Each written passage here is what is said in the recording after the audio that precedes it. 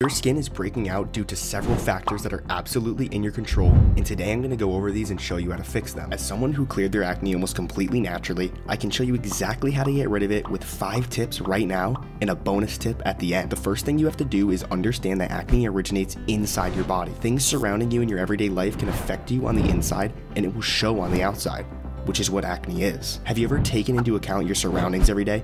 For example, the air quality or the temperature, or the amount of sun. And sure, you probably check the weather app day to day to figure out what to wear, but have you seriously considered it in regards to your skin? Probably not. What if I told you that your surroundings or environment are a driving factor in your skin health? You'd most likely be pretty surprised. Or maybe not, I don't know. But probably. The air quality or pollution in your area is a tough thing to fix, as living in a city or a high pollution area obviously isn't something under your control. But Think smaller, like your air quality in your house. My first tip is getting some high quality air filters for your house, or at least your room. The air is full of many harmful micromolecules including things like microplastics. Microplastics are another surrounding factor for your skin. Microplastics are known as xenoestrogens. Xenoestrogens are simply molecules mimicking the effects of estrogen, a hormone, which will imbalance your overall hormones and this will increase oil production, causing you more breakouts. Now, take a look at the amount of plastics you're using day to day. It's probably a lot, and that's okay for now. Second tip is to try to limit the amount of plastic water bottles specifically you're using every day, as these are the base of microplastic consumption for the majority of people. When possible, opt for glass or metal items. In a future video, I'll explain how to fully avoid microplastics, but it's nearly impossible, so don't stress about it. If you want to detoxify microplastics, it is possible, unlike forever chemicals, which are undetoxifiable. That I'll talk about towards the end of the video. Getting rid of microplastics is as easy as taking a supplement. Look for a compound called DIM, or as well as calcium D-glucarate. These will bind to xenoestrogens and get rid of them. Alpha lipoic acid is also great at supporting your liver through detoxification. Santa Cruz Paleo makes a great supplement on Amazon which will be linked down below. And no, I'm not sponsored. One of the most common subgroups of xenoestrogens, remember the estrogen mimicking compounds, are parabens. I almost guarantee your skincare products contain these, which is another reason why you're probably breaking out unknowingly. But not just your skincare, your hair care products too,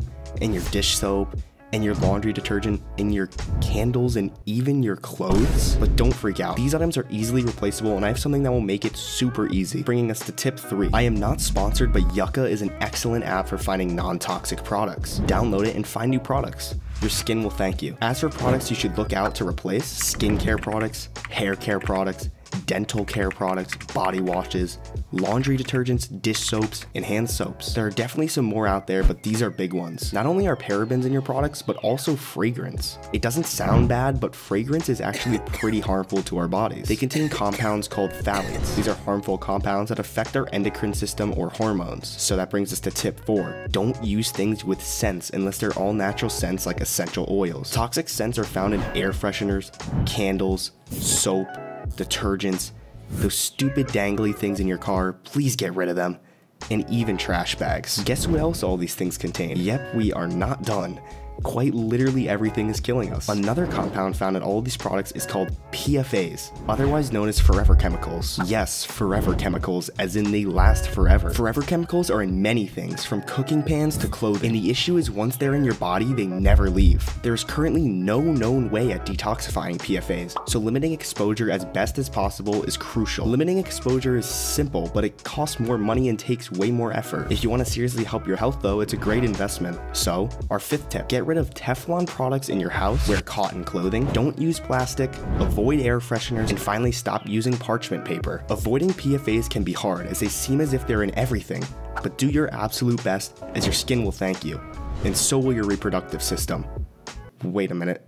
That's a different video. There is something else that has a huge impact on your skin apart from your surroundings and environment. This brings me to my bonus tip, which is fixing nutrient deficiencies. This goes along more with diet, so check out part 1 if you haven't already. Nutrient deficiencies affect nearly everything in your body, but I'll recommend some nutrients that are particularly great for skin health and specifically fighting acne. Definitely consider supplementing with these, and if you're unsure of your deficiencies, you can get an at-home testing kit online. All of the links will be in the description below. First and foremost, vitamin D probably one of the most important nutrients that so many people are deficient in, as it mostly comes from the sun. I highly recommend supplementing with this as it will repair barrier function. Next is niacinamide or vitamin B3. This improves barrier function as well but it also helps moisturize your skin and reduce redness. Also, vitamin B3 is amazing to use topically in a serum or a cleanser. Next up is pantothenic acid, otherwise known as vitamin B5, which directly fights acne and controls oil production in your skin. Next, we have a few minerals, which are copper,